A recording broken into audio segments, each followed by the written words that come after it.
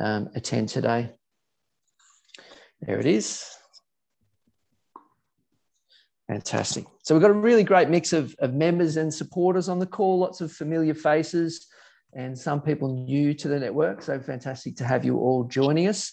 Um, welcome all to a few, uh, welcome to a few special guests as well. We've got a number of staff from uh, local schools joining in just to see what the, the local food industry is all about and, and also build on some of the connections between industry and schools, which are being developed through programs like P-TECH and the Regional Industry Education Partnerships Program and also uh, the STEM Industry Schools Partnerships Program. So fantastic to have um, some of the uh, teaching staff from local schools on board as well.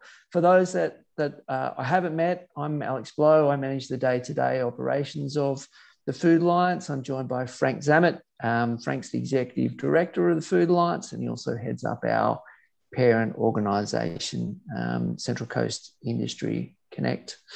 Um, most people, I think, will be familiar with the Food Alliance. For those who aren't, and I guess particularly our guests, we're a not for profit um, organisation. We exist to support the development of a thriving agri food industry here on the coast.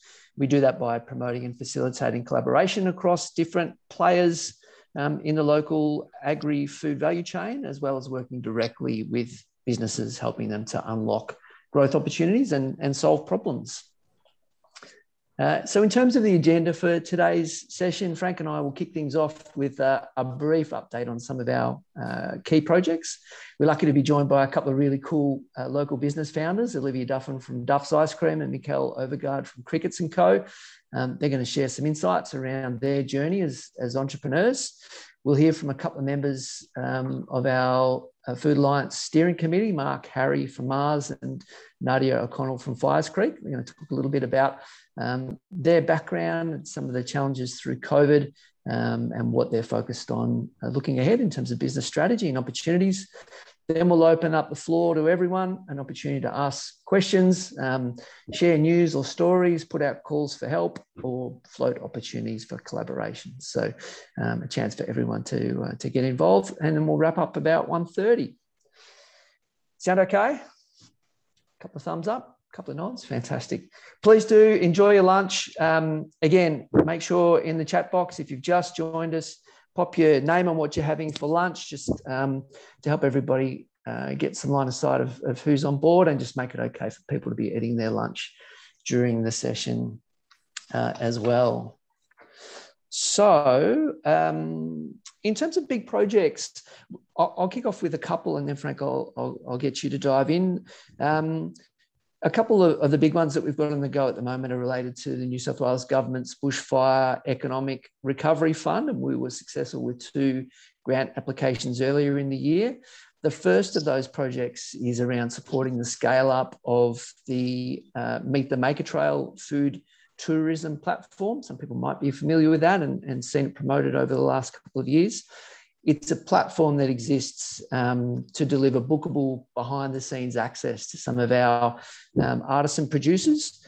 And our project is aimed at enabling more businesses to become involved and benefit from the platform and also promote the platform more widely to uh, local, interstate, and, and obviously at, at some point, uh, international tourists. So we'll be working with local business and tourism experts to build uh, a strategy to um, increase the reach and, and impact of the Maker Trail and also a marketing plan. We'll be working on that over the next couple of months. Um, and when we'll kick off a range of promotional activities uh, in early in the new year, uh, which will stretch across um, the majority of, of 2022. So that'll be a mix of um, improvements to the website, um, social media promotion, and also uh, looking to promote it in, in trade press and um, and other general uh, press as well. So the Maker Trail gives us a really exciting opportunity to tap into the surge of consumer interest in uh, the origins of food and local sourcing, and also that um, increase that we're seeing in consumers' desire to connect to maker stories. And we also see the Maker Trail as a really um, valuable tool in helping enhance the coast's reputation as a, as a foodie destination.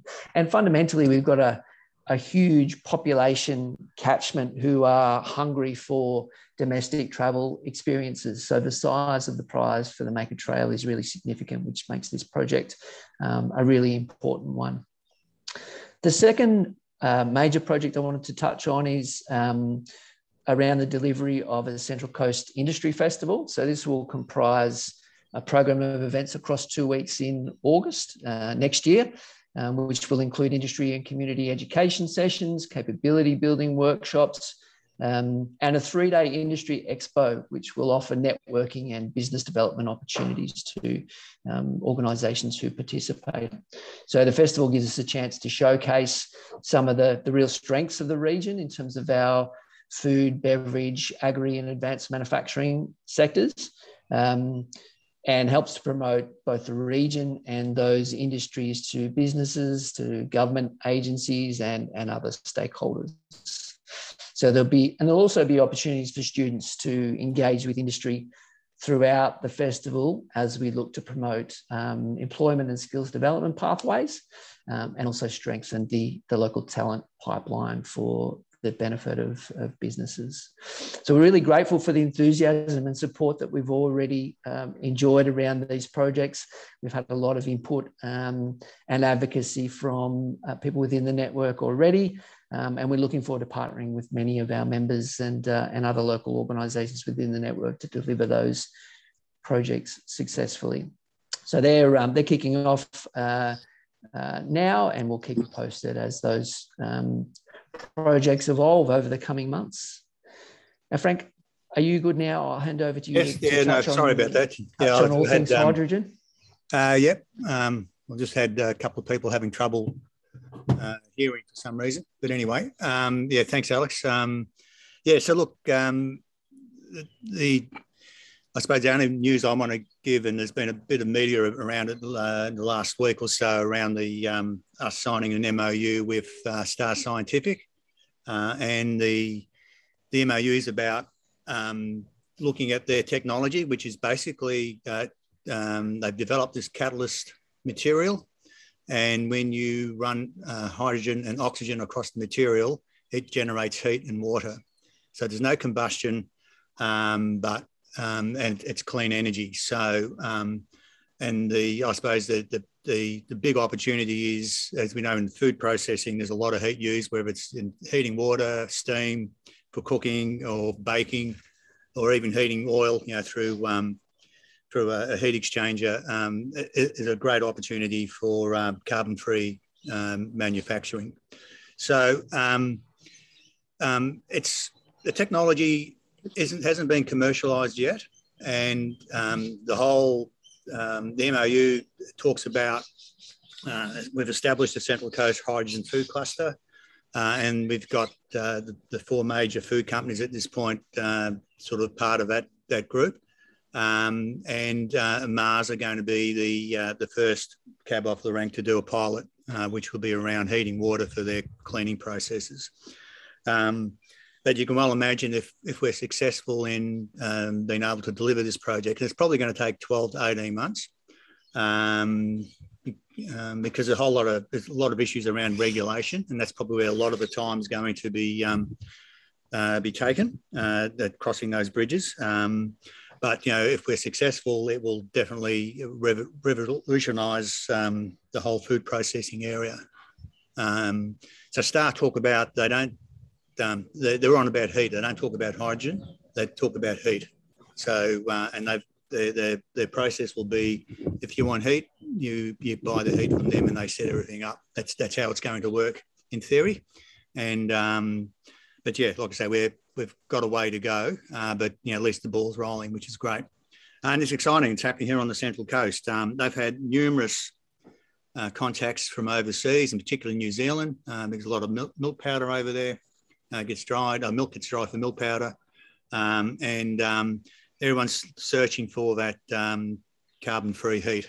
Um, so yeah, um, and it's great that they've decided to work in their backyard. And they're based at Berkeley Vale and uh, with, the major food companies just around them. So yeah, exciting time. So I think that's probably the, the, the the uh, the only news I want to talk about at the moment. There's some other things that are happening which we really um, until we progress a little bit more, probably not. It's probably not the right time to discuss those. But um, um, look, there's a lot uh, happening um, over the over the coming months. So um, you know, it's an exciting time actually for the region. So um, you know, certainly from a food perspective. So looking forward to uh, continuing that journey. Good on you, um, that's it. Did you? Um, so I forgot. Did you mention uh, that Steve and Scott were on on the call? You two directors. Sorry, I, was... I have. I haven't, mate. No. Okay. Yeah. So I just we've got um, two. Oh, Carl. Two of our directors that are on, on board with us now, Scott Henshaw, um, who just joined us recently. Um, uh, he works for uh, Forsyth Recruitment, and uh, Stephen Hyde, who's the chair of our organisation, who also runs Trendpack uh, a, big family business here on the coast in Berkeley Vale. So um, yeah, so welcome, welcome to the, those two guys. That's it for me. Alex. Is, is, there any questions around the Maker Trail, the uh, industry festival, or hydrogen? You can either ask them out loud, or you can pop any questions in the text box, and we'll we'll look to answer them as we're moving through. Comments, questions if you think of anything, we'll have some time for questions at the Alex, end as well. Where are you going to hold the three day expo? Sounds fantastic. What location are you looking at on the coast? I think the majority of it will be doing at um, Mingara. Uh, there'll be some events outside of that as well, and some virtual events uh, also. But I think the the core of what we're looking to do will be uh, at Mingara, Katrina. So an opportunity for some um, some in real life connections after 18 months of, of, virtual stuff, which I think will be really, really valuable. Obviously, touching wood that um, things remain um, as positive as they are at the moment. Yeah, just on that, um, we're working with Jill too, Katrina, but there's the, there's one day dedicated to having schools come through as well. Um, so um, look, we're, we're at very early stages. We only just signed the funding deed, and um, we'll, we're just in the process, um, just getting things sorted. Alex will be running both projects. Um, we'll probably, well, we will have a committee uh, that'll support Alex in terms of the activities across the two weeks and on, on the three days, and that'll cover all the different aspects of what we want to yeah. um, want to do. So we've got a bit of work to do yet. I mean, we've, we framed something up for the funding, obviously, but there, there, are other opportunities. So we'll just have to see how we can fit everything in. Oh, having the school kids is just fantastic because that's part of the biggest strategy for our talent pool for these employers. So I applaud that. That's fantastic, Frank and Alex. Yep. Well, good. Good on you, Petrina. And, and Ian, thanks for your question around the Maker Trail. We're, we're looking at a, um, a formal launch in April um, so, but before then, I think we, will look to engage with businesses who've expressed interest in becoming part of the Maker Trail and part of the development of the strategy, some guardrails for new businesses who want to join. So, um, yeah, we'll we'll start to socialise those as we build them up and um, and make sure that anyone who's already de- um, already expressed some interest in becoming part of the trail is is um, sort of onboarded, if you like, um, and then we'll promote um, the trail and invite other businesses who might want to participate as well. But there's a bit of work to do just to ensure that there is a bit of a framework around the kinds of offers that um, uh, the kinds of sort of service that needs to be provided or the product, the, the food tourism product that needs to be provided um, as part of the Maker Trail to make sure that there's a consistent offer and one that's sort of relevant for consumers. So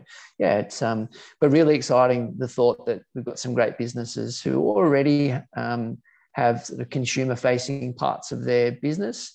Um, to be able to tie that into the Maker Trail is, is really cool. It allows us to scale it up and, and broaden the, the, the type of um, uh, products that can be involved in the Maker Trail as well. So any other questions around those projects?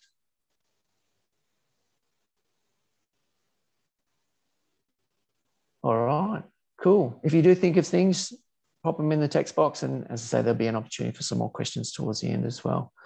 Um, anyone who's joined us late, pop your name and your business name in the in the chat box and let us know what you're having for lunch. I think Kyle, welcome. Good to see you, my friend. Um, everyone's because we're having a lunch meeting. Um, people, some people are eating their lunch Um, and we've just asked them to pop in what they're having just, um, to, to, get interesting to see the variety of, of uh, really interesting lunches around the place.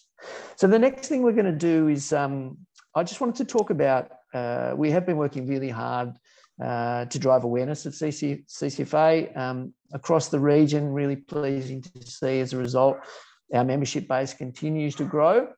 And um, uh, our recent new members include a really cool mix of, of entrepreneurial early stage food businesses who have come to us looking for help to scale up.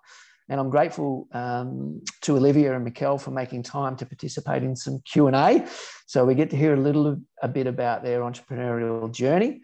Um, so I'm going to start with Olivia, um, and I might ask you, Liv, just to introduce yourself, your business, talk a little bit about what you're doing, you know, what you make and, and how you're doing it, um, and perhaps a bit of background on how you got into starting your own business. And then I've got a couple of questions, and then hopefully we'll have some time for the um, the group to ask a couple of questions as well. So fire away, Liv. Sure, thanks, Alex. I'm Olivia. Um, I studied food science and human nutrition at the University of Newcastle, and I did one year of it also at Deakin in Melbourne. So I got a really broad um, and different kind of experience at you going to two.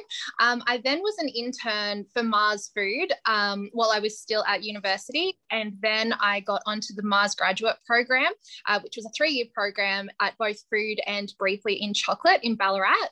Um, so that was really cool to get even more breadth um, so early on in my career.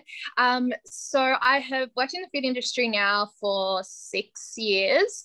Um, and after Mars, I, I, worked at Mars in research and development, so with on Alex's team, and um, that was in both product development and quality assurance.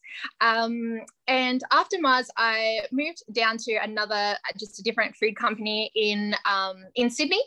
Um, but soon I realised that I just wanted to do my own thing. I had a strong passion for ice cream, um, and I always have. I've always been really interested in ice cream. Um, and I just thought there's no ice cream company doing the the style that I want to do and I had some really good ideas. And my my dad actually had always had his own businesses. He was very entrepreneurial and was an inventor and all these amazing things. And I thought it, it seemed very normal to me to, you know, go and create your own um, company. So I started Duff's Ice Cream, which is a handcraft ice cream company um, on the coast. So I'm on the north end at Noraville, um, and actually making work from a very small ice cream truck. It's a vintage 1981 Ford Transit. Um, so it's got you know little ice creams on the front. It's very very old school. Um, so I, having the product development background, I create all my recipes for all of my ice creams, um, and I develop them, including I've now started some dairy free, which um, has gone really well. People love dairy free.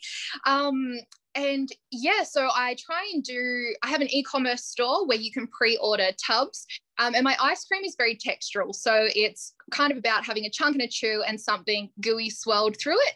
Um, and yeah, just really delicious flavors. I also make ice cream sandwiches, which can be purchased from my truck. So the sales line of my business comes through my e-commerce store mainly and then i do pop-ups with the truck where you can buy items at the truck pick up your orders um, and that's kind of my distribution network so i drive around the coast in little pop-up areas um, on the weekends and try and yeah try and go all different places to meet all different people um, so yeah that's kind of the introduction oh good on you liv how, how good's your energy oh, it's fantastic you really get a sense of um, how much energy you're getting from from your own business and um, and I guess uh, obviously that comes with some challenges. What, what what's been the toughest parts you think of of getting things off the ground?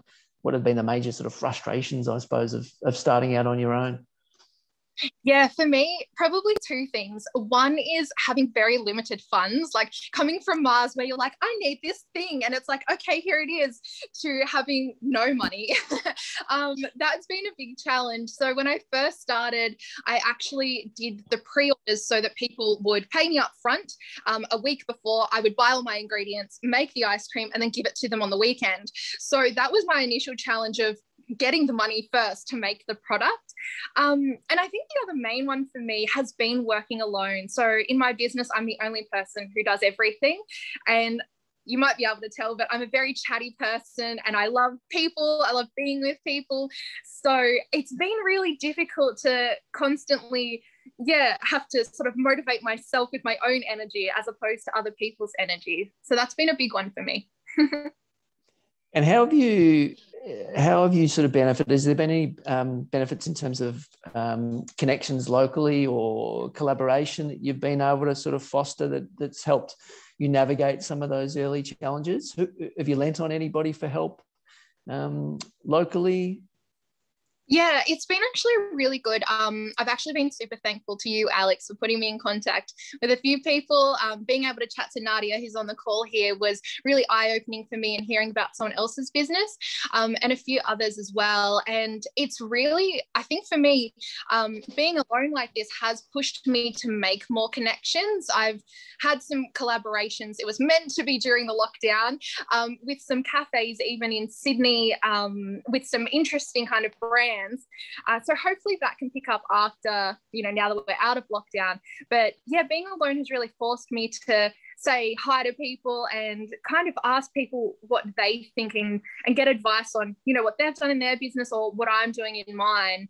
Um, and it's yeah, it's been really helpful just to speak to people um, going through their own thing because you can you can always take a little part of it into your own business i think even if the businesses have nothing to do with food or you know, are a different style of food.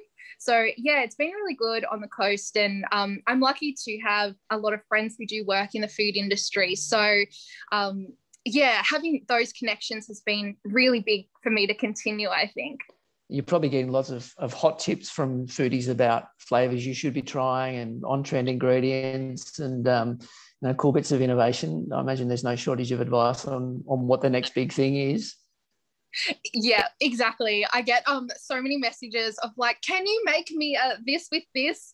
Um some sound good and some sound just terrible. Yeah you probably have to politely decline some of the suggestions yeah, but there's so many. I've got honestly, I walk around with a book that I carry with me everywhere, and I write my flavor ideas because they strike at any moment. Um, so I just have this book filled with flavors and things I want to do, and yeah, desserts that you have, or the things that people make. So it's really interesting to hear what people want to make. I actually just on Instagram this week put up um, a poll, and you could vote on what kind of flavor I should make make next as like you know an instagram family type flavor. Um, so yeah everyone voted and that was really cool just to see what are people actually interested in because i'm into very weird stuff um, and some people just like chocolate. It's great it's a great way to use that technology to get some sort of real-time research done and i suppose you're in a position where you could sort of rapidly prototype some flavors get it in front of a few people and work out whether that actually works or not and whether it's something that you might roll out. Um, as a sort of standard line or a special feature? Yeah, exactly. I found Instagram super helpful tool. Like I'll put a photo up of something I've made and all of a sudden like I'll get inundated with like, yes, this is good. And I make it and it will sell out. So um, yeah, having the social media aspect has been hugely important to my business. Awesome. Ian's asked whether you could do a chili and cardamom ice cream. Have you thought about that? Ooh, that would be nice. I just did pumpkin spice. So that was really like, um, that had a lot of spice, a lot of flavor going on. But yes, I actually have some cool ideas that I'm going to release on social media probably next week or the week after. Um, and it may have to do with chili. So follow me. I reckon you and Ian maybe could get together and have a bit of a brainstorming session. I reckon that could be a lot of fun. I would love that. Amongst a yeah. whole bunch of others. Maybe we could all get together and have a brainstorming session and sample a little bit of ice cream as well.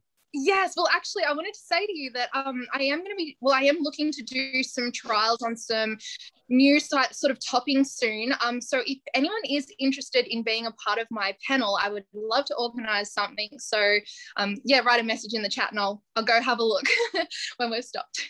Great stuff. All right. And, and Ian's also just asked whether you put your locations on socials. So the places that the, uh, the van visits in terms of how yes, we can I- get, we can get some ice cream.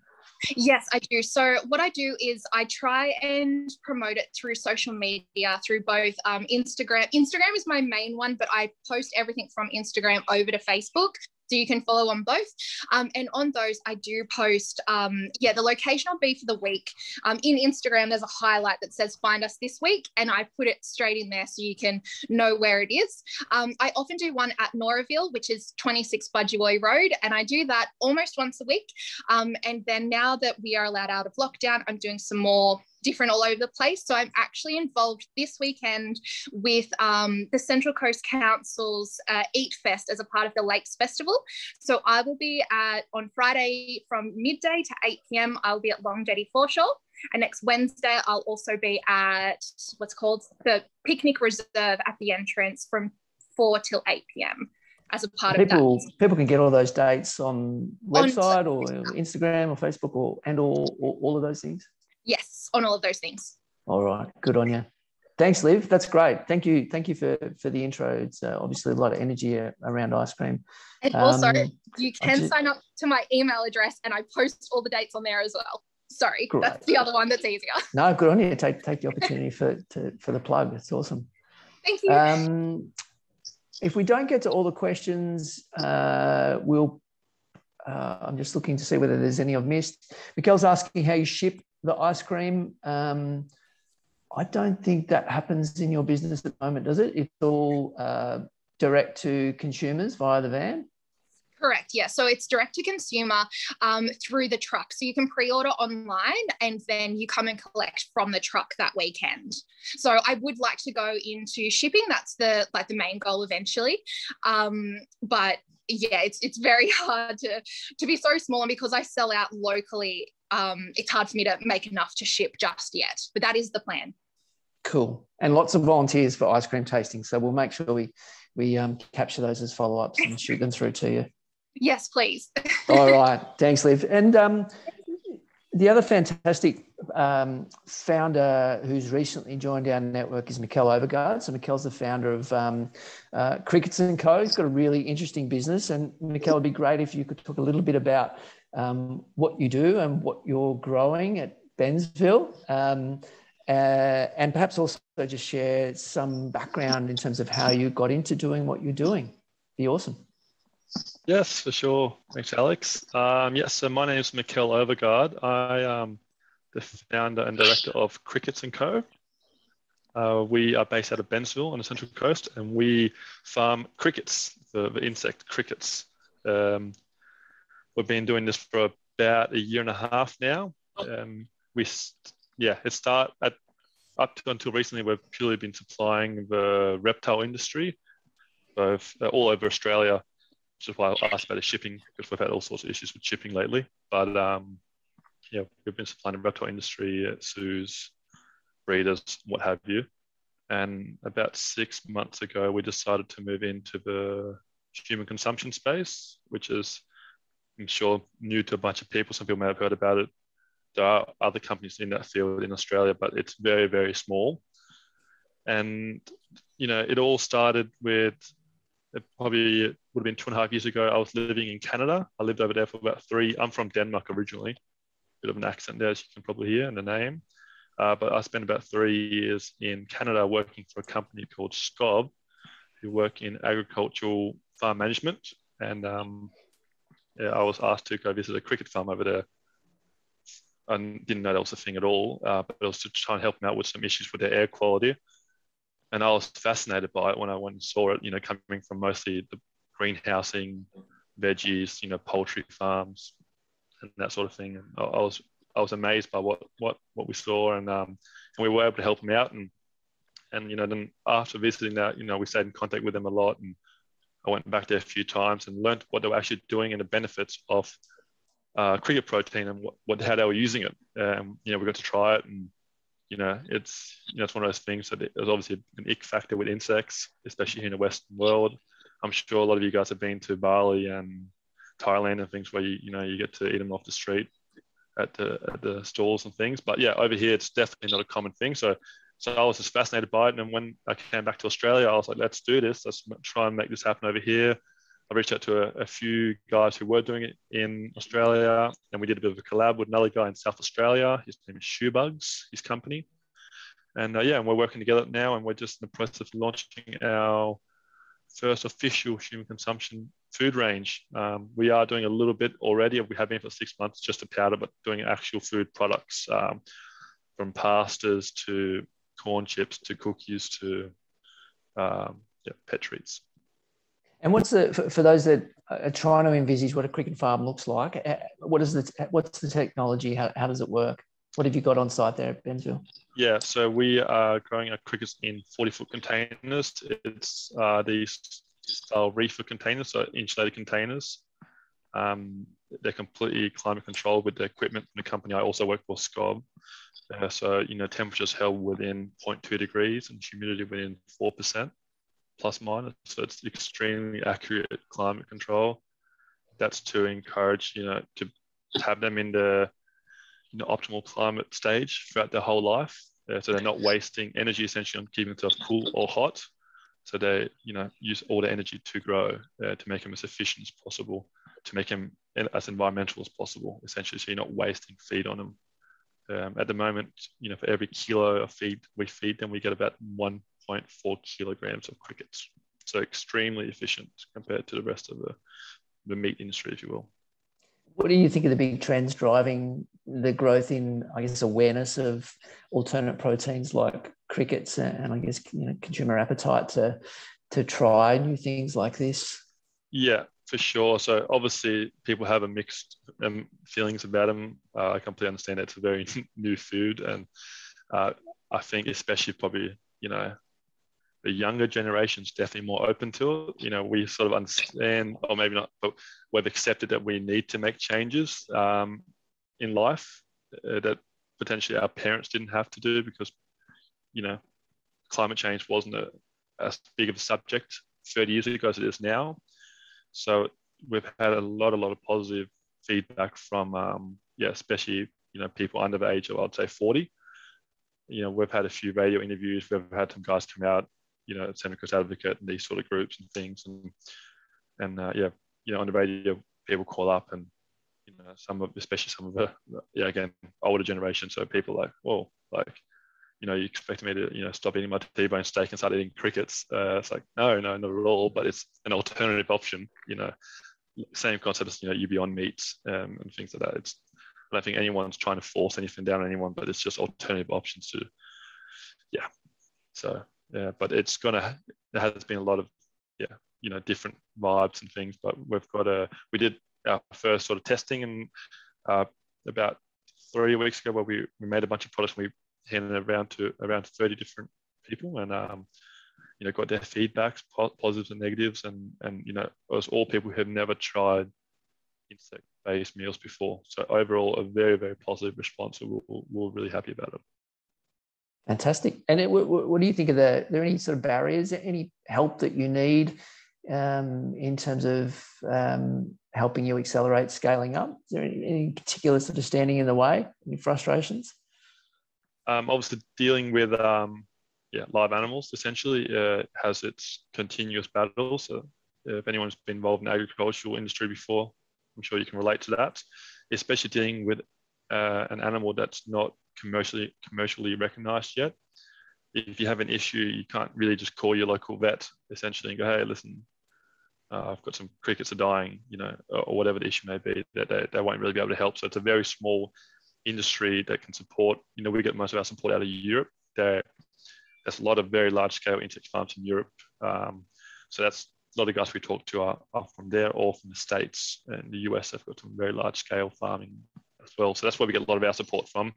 And then we've got our own little group. We've got our we've got an insect protein association of Australia, which I'm on the board for as well. Um, so so you know we, we do a lot of networking and everyone really tries to help each other out. Again, there's no we don't look at anything as competition. We're so small. It's just about trying to get it out there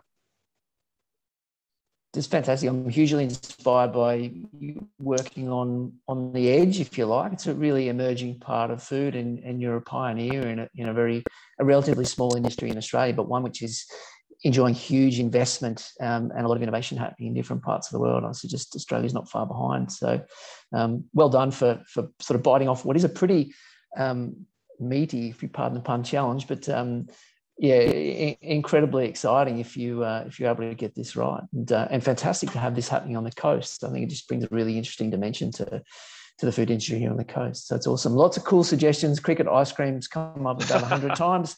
So you and Liv need to sit, to sit together as well and and and uh, have a bit of a brainstorming session. Um, Bill's made a great suggestion. Um, to bake some uh, sourdough using cricket flour. Bill's got obviously some very deep connections into um, baking. Absolutely. Um, and some other cool suggestions there as well. So we'll capture that and make sure those notes come out to you, Mikkel, as well. And uh, there's some follow up opportunities for um, for collaboration that could be really cool. Uh, Pete's asked, "What's the diet of crickets? Is there a food waste opportunity?" Oh, it's interesting you asked that. So at the moment, we're feeding them. Um, it's a yeah, it's a cricket feed, which is made out of uh, different grains. It comes out of Queensland, so it's specifically made for crickets. However, uh, as I mentioned, we have a few different containers, and at the moment, one of the containers we're trialing purely food waste, uh, veggie waste, so it's clean, what we classify as clean waste. Uh, it's put together with a few of the local sort of fruit barns guys. You know, when there's damaged fruits and things, we um, collect them, and they go, uh, they get processed, essentially just cut up and, and mixed and used for feed. So that's something we're testing now. There's obviously a few factors with that. Um, because one of the big positives about crickets, the people who are into them, eating them, is generally quite health conscious people. And, um, you know, by changing their diet, that the nutritional value also changes from the, the powder. So that's something that we don't know of yet because we haven't gone through the stage of getting them, getting it tested, uh, the nutritional value yet. But we're also doing some other trials. We're working with some another group from the Central Coast here, uh, where we're working with like mussel, like the the, the ocean mussel uh, extracts and seaweed extracts and things to try and increase some of the nutritional value as, as well. So yeah, we've got a few different things going on, uh, which is which is super exciting. But to go down the route of also being able to incorporate the food, yeah, food waste. I know we've got to be careful using the word food waste because people can get a bit cautious about that. But uh, yeah, that concept would be really, really great.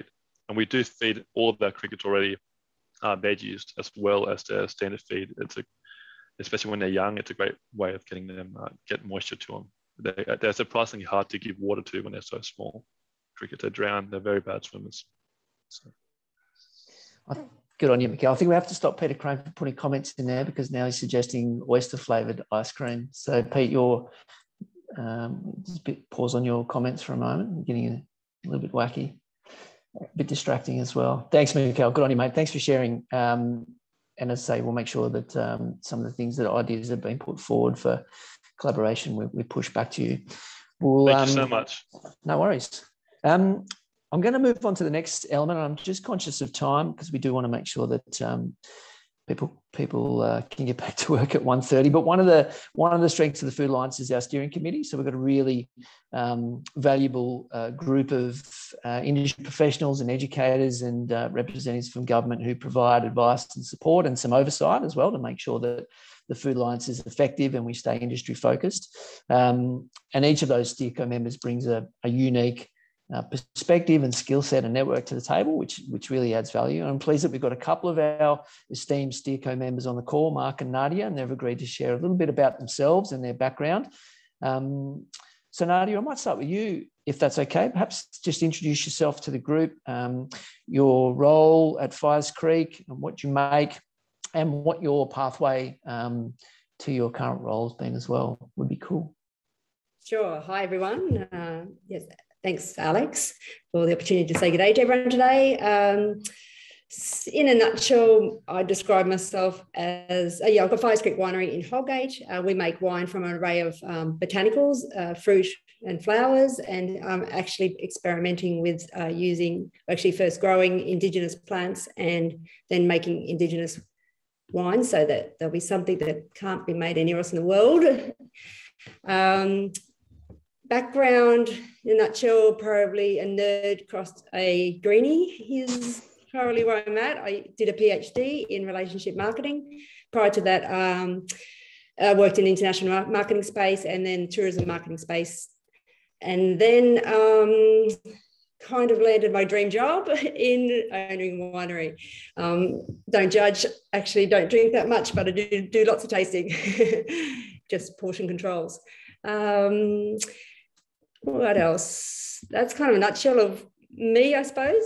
Thanks, Nadia. So, I mean, uh, obviously, we're all aware it's been a pretty challenging 18 months or so. What, what are the things that you've had to done had to do differently at Firescreek to to deal with the disruption and and I guess um, the inability for consumers to come and visit you at Firescreek? Because the majority of your um, sales are through the cellar door.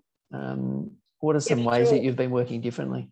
Yeah, sure. So um, we had a double whammy um, of two lockdowns where we deemed non-essential services. So um, just come out of what four months of lockdown, and then then prior to that the other three months, I suppose, nine weeks. Um, so a little bit of a hit there, but actually uh, I just pivoted and used that time to maximise projects that I could see were going to be a benefit and um, um, created um, tourism experiences, which are kind of a, a, a, buzz. I've been informed that you know that you should create um, experiences. So first lockdown, I uh, rebuilt the, website, developed the four different experiences to meet particular four different specific target markets. So um, I've got to meet the winemaker tour. Um, I've got an Aboriginal bush tucker and wine tasting tour specifically for um, inbound market which actually this week's looking like it could be picked up by Tourism Australia. We've got still got fingers crossed on that. Um, I've got a, a, decadent style one for your couples and your and your friends and family kind of thing, which is a um, chocolate and wine tasting pairing, which is served in the garden on crystal in crystal glasses and you know it all looks lovely and then i've got a one i needed a, a product that was suitable for your hands your young groups of people um, even work kind of your mice market. So I developed a foraging and mixology workshop. And that all, well, foraging mixology is probably the one that actually took off even more than I could imagine. So that's been um, a really fun workshop that's has kind of resonated a bit with people wanting to, you know, get in and do things with their own hands and experience things themselves. So and you're doing um, some things with indigenous ingredients as well, plants. Yeah, so I've st- I planted some um, different things in the in the garden here because we grow about 40 different types of plants and we grow organically um, that we use to make into wine. So I'm um, looking at some mountain pepper, some myrtles. I've got some dianella, some um, Davidson plums, so, um, and then I uh, liaise with the elder I'm working with in regard to some natives that actually grow in this region, and I've got some in the, in the garden. It will all come down to kind of your the growth of that plant, but also um, when I'm doing my wine making, the parts per million or the, the, the flavors that resonate through the actual wine, and um, and then the appeal to be able to market. So um, some definitely lemon myrtles, fantastic. It's a it's a fantastic plant and easy to use, but some of the other ones have got a little bit more stringent to utilize. But anyway, that's a work in progress. I think indigenous ingredients is an area where, again, consumers are becoming more aware and interested in trying mm. because of the flavor profiles, but also yes. the, the sort of nutritional benefits. Um, so yeah, an, an area where there's potential for for innovation, um, not just in beverages, but in, in food generally. Good on you. Thanks, Nadia. Um, Mark, Harry, are you good to uh, do a quick intro? Sure Just can. A little bit about you, your role, what you do at Mars, um, and how you got to um, no worries, where Alex. you are.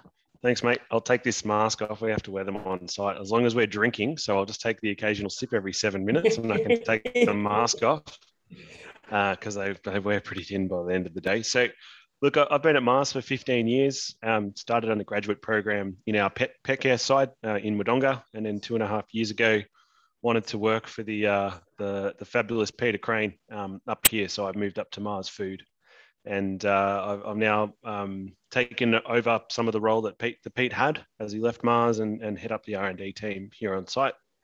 Um, I've got 15 people in the team, um, ranging from packaging development through product development and, um, and raw material specification.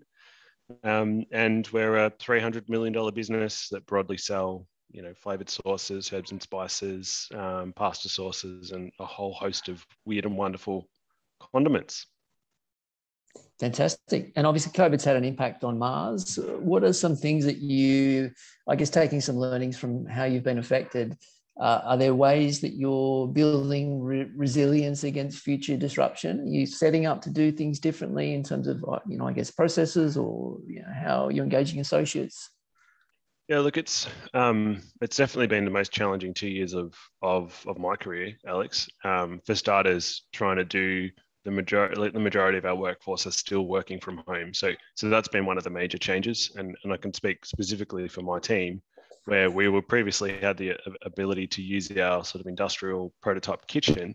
All of a sudden, all of our development work was done in our own kitchens, and our family became our our, our test our test markets. So um, you know that was one of the changes that we that we made. Um, I think the, the impact of COVID on the office environment has broadly made a permanent change. So where, where there was an expectation, I think as a line manager, that your team would be on site the majority of the week, going forward, we, the business has run very well over the last two years. We haven't had any major dramas. It's going to be very appropriate to have um, a very flexible workplace, and and the office layout will be completely different as we as we start to open the office up for more associates going forward our office will be set up for people to come in and come out as they need. It would be very rare for people to have a dedicated office space. Um, you know, we have we have satellite offices all around the country. We will review those and whether we need the the amount of desk space that we had because so many people are set up at home. So that, I suppose that's probably one of the changes. But the bigger one I'd say would be through our supply chain. So as as Mars has tried to improve its cost over the years, um, we've gone to to source, you know, packaging items, for example, from lower cost countries, um, which has been, you know, at that point in time with supply chain working well, it's been a, a great strategy. But the challenge of COVID uh, and the, is, is actually being realised in a bigger way in 2021 and into 2022 as we're seeing a global shipping crisis. So for us, it's about repatriating, repatriating, sorry, almost all of our raws and packs um, into Australian based supply chains so we can keep the factory running. That's probably been the biggest learning. Uh, international shipping is just too hard to manage. Mm, thanks, Mark. I think, I mean, we could talk about insights and um, trends and growth opportunities. I'm just conscious, I, did want to allow some time for some general chat, so I might call it there. But thank you to yourself and, and, worries, and Nadia for introducing yourselves to the group and sharing a little bit of your perspective. So, um, a couple of minutes if there are any general questions or comments. Um, anyone want to throw anything out there? Anybody got any business news, anything exciting that they wanted to share? Uh, we've got a couple of minutes for that. So I'm happy to open the floor. Yeah, Alex, I was just going to say, uh, Michael here from Industry Training Hub. Um, obviously, I've been doing a little bit with uh, Frank at the moment, and it sounds like we'll probably uh, link up with yourself um, regarding these uh, events next year because, uh, and as uh, Patrina would have said with uh, Patrina and Gillian, myself, we're all working closely together and uh, trying to bring together that whole piece around addressing, um, you know, probably a, a lack of education uh, regarding the manufacturing industry um, in schools here on the Central Coast. So that's going to be a large part of, of my scope of works and obviously bringing into play the likes of the REAP officers, skills broker program, and then obviously working with you guys in the industry and trying to bring industry and schools together. So I think, um, yeah, there's, there's, going to be some great synergies there between all of us, I, I, would think, yeah. Good on you, Michael. Thanks. There is a lot happening in that space, and yeah, really excited to be working with yourself right. and uh, and a number of others on this call around that. Thanks, Alex.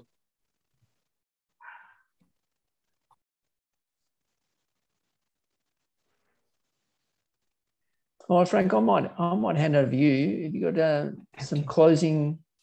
Well, actually, I just wanted thoughts? to uh, um, just um, follow up on a couple of things, um, particularly with COVID. So I just during this call, I had a phone call from East Coast Beverages. Um, they can't get CHEP pallets, so they've actually had to stop producing because they can't get CHEP pallets. Uh, and I just had a chat with Steve on the chat, and he's had the same problem. So you know, this is um, this is pretty major. Like you know, bit of timber that we uh, ship all our products, uh, particularly in supermarkets, um, that we can't get now. There's there's a whole range of reasons. There's obviously the bushfires decimated a lot of the forest, the timber, and then uh, you know the COVID's had some impact as well. Um, so I'm not sure if um, any of the other businesses, uh, I suppose the bigger businesses probably will feel it more. Um, but um, yeah, um, I'll be following up with a few people just to try to find out what we can do about trying to secure pallets for the region because it is quite a major, major issue. Um, we had the same sort of discussion with um, uh, Family Fresh Farms up at um, They have a they, they produce their heat using wood chip, and of course the same problem. Uh, the timbers, well, a lot of it, the, the source of their timber and chip has been decimated, so they're um, and strife as well in terms of the resources. So um, anyway, look, I just wanted to, to throw that out there as something that um, you know, that we have to, um, that, these are going to be the ongoing issues, particularly around supply chain, uh, that uh, businesses will uh, will have, uh, and we'll need to, uh, you know, try to put a bit of focus on that and see what we can, if we can do anything. Um, but yeah, anyway. But look, apart from that, great session. Uh, thanks, Alex, for for really driving this. It was um, Alex's idea to bring all this together, so I think it's worked really well learned a lot about the different businesses in the region. I hope all you have had the same experiences I've had as, you know, we've just got such a, a vast variety of, of, businesses here. And um, I think it's a great opportunity to keep running these sessions just to, uh, to highlight some of the, some of these opportunities. And I was thinking, and I'll have a chat to Alex about this afterwards, is about how do we have a session where we bring all our products together and, and, and physically see them, taste them, do all that sort of stuff. And then start talking about how can we um, um, integrate the products together. So we have this real Central Coast, um, I suppose, flavour around um, our products that, and a lot of collaboration between businesses. So whether it's cricket ice cream or you know, uh, know spicy orange juice or something, I don't know. But um, um, but these are the sort of things that you know um, when you get a whole group of people together uh, and the ideas started flowing. You know, like on the chat, you just um, I'm glad Alice could keep up with it because I couldn't. And um, yeah, uh, but keep Peter out of the uh, conversation because he'll just stuff. But um, uh, we need some of we need some of that left field. Yeah, yeah, no, we need sure. some of it. Yeah, exactly. But uh, by the way, Peter Crane, he's also a director in CCIC, uh, so just uh, he came in a little bit late after the introduction. So, but anyway, look, we'll we'll get back to you um, on that. And the other thing I just wanted to ask, and, and maybe we'll send out a little bit of a survey about uh, having face-to-face meetings at some point and whether people are comfortable in doing that. That's it for me. Thank you. Good on you, Frank. Thanks. So I'll, I'll wrap it up. Thanks to everyone. Um, thanks for joining. Thanks for your active participation. Some great chat, some good questions. Uh, thanks, Olivia. Thanks, Mikkel, uh, Nadia, and Mark for your insights. I think, yeah, as Frank said, your involvement's been a really good springboard. We'll try and get more members involved um, and more people from our network involved in these kinds of sessions. Um, I did want to thank our sponsors and supporters. It's a pretty long list, um, uh, but they do a lot to help us both in kind and financially. And lastly, if you think there's a business you reckon could benefit from being part of the network, send them to our website, centralcoastfoodalliance.com, or steer them towards Frank and myself for a chat. We obviously we want to continue to to build this network, and uh, yeah, we'd love to hear from anybody, any new businesses or um, um, anyone in the, the food um, and ag sector. It'd be really cool when it's done, it's done. As one of my old bosses used to say, thanks everyone. Have a great afternoon. And uh, yeah, see you all again soon. Cheers. Thank you. Bye bye. Thanks everyone. Bye bye. Yeah, thanks.